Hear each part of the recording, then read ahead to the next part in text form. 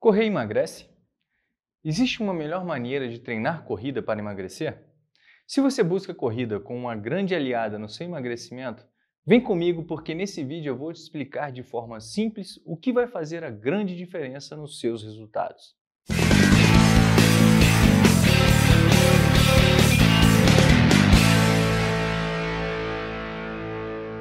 Olá, eu sou André Ascar do Corrida Perfeita e hoje estou aqui para falar com você sobre esse tema bastante procurado, o emagrecimento com a corrida. Então, já vou responder a pergunta de milhões logo de cara. Não existe fórmula mágica para o emagrecimento, mas a corrida, se usada da maneira inteligente, pode ser uma ferramenta fundamental para esse processo. Vou explicar como funciona esse negócio de treino de corrida ajudar no emagrecimento. Mas antes, um recadinho rápido para você que quer receber mais dicas sobre corrida. Se inscreve no nosso canal e ativa as notificações para não perder nenhum vídeo novo. Toda semana postamos vários conteúdos que vão te ajudar a correr com mais resultados, mais prazer e longe das dores e lesões. E se você ainda não conhece ou não baixou o nosso aplicativo Corrida Perfeita, o link está na descrição. Lá tem algumas séries de exercícios gratuitos para te ajudar a correr com mais conforto e prazer, o que também será fundamental no seu treinamento voltado para o emagrecimento. Valeu? Vamos lá! Muita gente enxerga a corrida como uma ótima possibilidade de emagrecimento, seja porque viu um conhecido que começou a correr reduziu muito o peso, ou por ter ouvido histórias de pessoas que emagreceram e também mudaram de vida com a corrida. Mas não vou mentir para você, saiba que apenas a corrida não emagrece ninguém. É importante entender que o emagrecimento é um processo e exige uma estratégia inteligente, ou seja, você pode emagrecer de inúmeras maneiras, correndo, pedalando, praticando qualquer tipo de atividade física e até mesmo sem nenhuma. Isso se seguir uma estratégia inteligente e focada na alimentação, no caso. Aliás, busca aí na sua memória, você deve conhecer alguém que emagreceu melhorando os hábitos alimentares, né? Então, tudo é uma questão de como é o processo. Não caia na história milagrosa de que seu treino é fraco, o meu é que emagrece. Tudo vai depender da estratégia que você vai usar para o seu organismo. Mas se você decidir usar a corrida como uma ferramenta, uma aliada na sua estratégia de emagrecimento, eu fico muito contente e vou te explicar como esse processo funciona.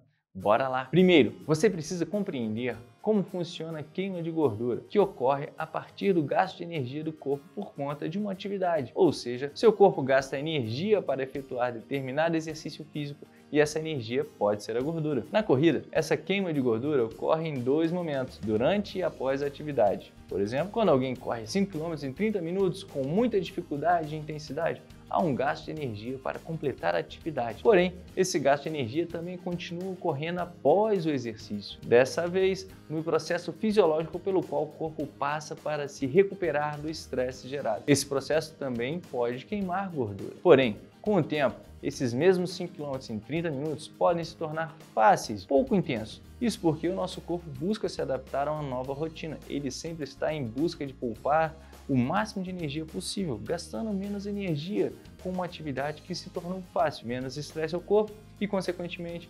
menos gasto calórico. Conseguiu perceber que a maneira como você vai correr também será fundamental no processo de emagrecimento? Mas será que é necessário passar a correr sempre no modo sofrimento, na intensidade total, fazendo todos os dias os famosos hits cheios de intervalos intensos? A resposta é não. E quem faz isso pode passar a ter muitos problemas pelo excesso. E outra, muito possível que se lesione, impedindo a continuidade do processo de emagrecimento. Não é isso que você deseja, certo? A corrida precisa te proporcionar prazer. Ela deve estar na sua vida de forma saudável. Você tem que curtir correr. Então, para ajudar no emagrecimento de forma sustentável com a corrida, os treinos devem envolver tanto alta intensidade, aqueles que deixam você com o coração na boca, como os tiros de velocidade e outras estratégias de alto gasto de energia durante e após a atividade, quanto também os treinos mais tranquilos, com doses leves ou moderadas de intensidade. Esses últimos vão te permitir uma recuperação adequada e também vão contribuir de alguma forma com o seu objetivo. Inclusive, essa alternância de intensidade dentro dos treinos também é bem interessante, porque além de manter você em plena atividade dentro do processo, ainda vai potencializar o aumento da sua capacidade física. Além disso, os treinos mais tranquilos ajudam a aumentar a sua resistência, elevando o seu preparo físico como um todo. Você pode, por exemplo, dividir os treinos na sua semana assim, variando os estímulos, uma corrida contínua, no ritmo um pouco mais difícil, uma corrida progressiva, em que você vai aumentando o ritmo ao longo do treino, até chegar a uma intensidade muito forte. E por fim, uma corrida com quilometragem maior, mas em um ritmo mais tranquilo, o que a gente chama de longão. Já já eu te conto como você pode ter dessas rotinas de treinos elaboradas especificamente para o seu objetivo de emagrecimento, respeitando o seu corpo e o seu nível atual. Lembra da estratégia inteligente? Então, mesmo podendo conseguir o resultado rápido, a manutenção desse processo é fundamental para que o resultado seja duradouro. Por isso, também vou te contar uma ótima maneira de manter a consistência na corrida, para que seus objetivos sejam de fato alcançados. Outro ponto importante e que deve ser frisado: não existem velocidades ou distâncias de treinos específicas que ajudam a emagrecer mais ou menos. A referência deve ser a intensidade de cada treino. Por exemplo, o meu nível muito difícil de intensidade que leva a um determinado resultado pode ser 16 km por hora, mas para outra pessoa, esse muito difícil que leva a um resultado parecido com o meu pode ser de 11 km por hora. Conseguiu pegar a visão? O que deve ser levado em conta é a percepção individual de intensidade, independente da velocidade ou distância, ok? Para facilitar o entendimento dessa tal intensidade de esforço, eu costumo separá-la em zonas. A zona 1 significa que você deve se movimentar fazendo um esforço leve, que a depender do seu preparo atual pode ser até mesmo uma caminhada. A zona 2 se refere a um esforço moderado. Não é fácil, mas também não chega a ser difícil. Na zona 3, o esforço começa a ficar um pouco difícil.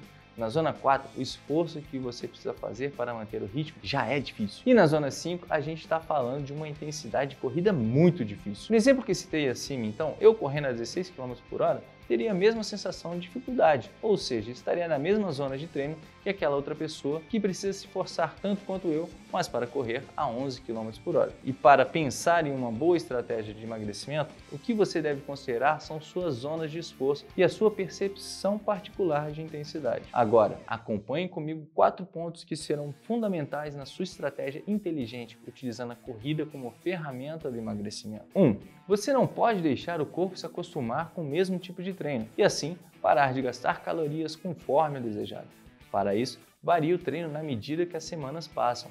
Isso ainda vai ajudar a não deixar a rotina de treinos monótona. 2. Cuide da sua alimentação. Você pode desfrutar de tudo, mas com moderação e equilíbrio. Por isso, evite chutar o balde toda semana, porque para recuperar esse balde depois é bem mais trabalhoso. O processo de emagrecimento nada mais é do que a reeducação dos seus hábitos como um todo, principalmente alimentares. Corra para viver melhor e não simplesmente corra para comer. 3. Tenha constância. A mudança não vai ocorrer do dia para a noite. O processo deve ser contínuo. Isso é mais importante que a velocidade. E fazendo de maneira inteligente, a corrida vai te ajudar a emagrecer mais rápido. 4. E talvez o principal ponto: tenha prazer pela corrida. Não adianta nada fazer algo forçado e por obrigação. Uma hora você desiste de tudo inclusive de atingir os seus objetivos, se não estiver curtindo a jornada. Se você quiser começar da melhor maneira possível, curtindo esse maravilhoso esporte, com uma orientação profissional adequada para que a corrida seja de fato a sua aliada no processo de emagrecimento, eu te convido a conhecer o nosso Clube Corrida Perfeita. Nele, você conta com uma assessoria de treinadores especializados no nosso método e que vão preparar planilhas de corrida personalizadas de acordo com seu nível, intercalando aqueles tipos de treino que se tem no início do vídeo que variam de acordo com a intensidade. Lembra? Treino contínuo, treino progressivo, longão e vários outros. Você terá acesso a essas rotinas de corrida diretamente no seu celular pelo nosso aplicativo exclusivo. Tudo pensado para que você consiga manter a regularidade e então atinja a sua meta de emagrecer correndo. Afinal, isso será determinante para os seus resultados. O treinamento certo aliado à constância. O link para você conhecer o clube está aqui embaixo na descrição. Recado dado, eu estou encerrando por aqui. Bons treinos, sem se esquecer do equilíbrio, hein? E vamos juntos, lado a lado, rumo à corrida perfeita. Um grande abraço e vamos nessa.